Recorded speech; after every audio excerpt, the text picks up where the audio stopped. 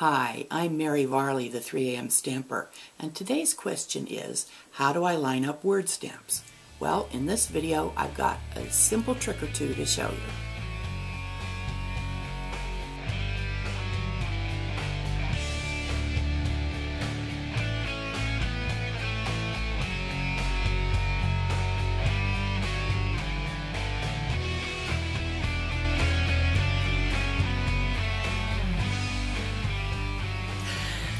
So today I've got two different styles of word stamps to show you.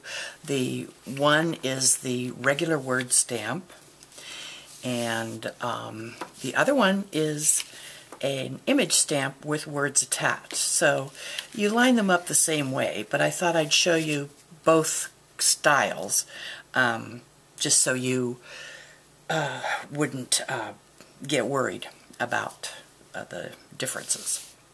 Okay, the tools that you need are a ruler and a pencil. Now the wood mount stamps, of course, come, you have to mount them yourself, which is why you get to line them up. I use, make use of the grid paper, and I set my stamp on on the wood block after getting the wood block, you know, lined up in a straight line. And then I kind of judge how far down I'm going to have to make the line. So I think that should be good.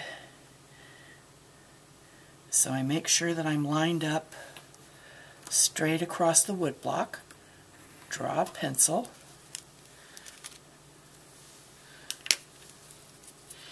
And then I mount my stamp by lining up the straight word with the pencil mark.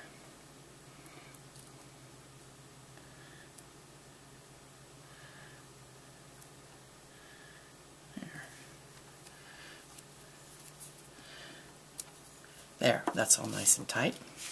And then I like to put the sticker on and it kind of doesn't matter. I sort of line it up-ish. But the main thing is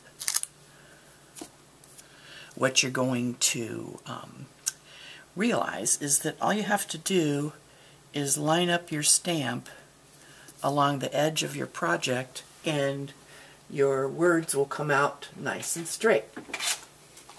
Let's, uh, I'll give you an example, okay? We'll ink up the stamp. And then I'm just going to put it in this corner. Oops. I got it a little off. I got it exactly that amount off. So now I'm going to line it up easier. There. So that way you don't have to worry about May as well save this open. You don't have to worry about having your stamps mounted crooked. You just need to make sure that you can line them up properly.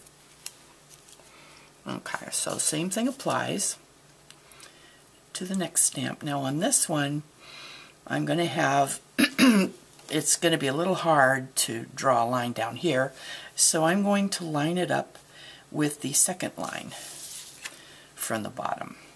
So that'll give me a good, good amount of space. Okay. You don't have to draw a big thick line. You can if you want to, but a narrow little line will do. Okay, then this one lines up with the um, with you portion of the phrase.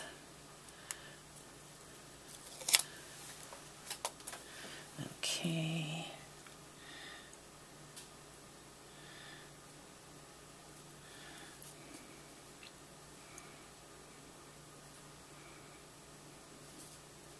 There.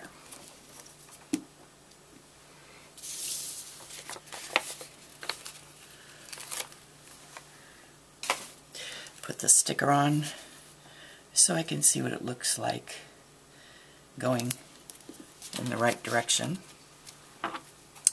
And then we'll test this out by stamping it.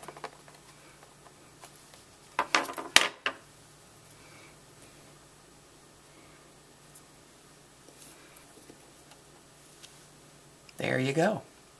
Man, can't get better than that.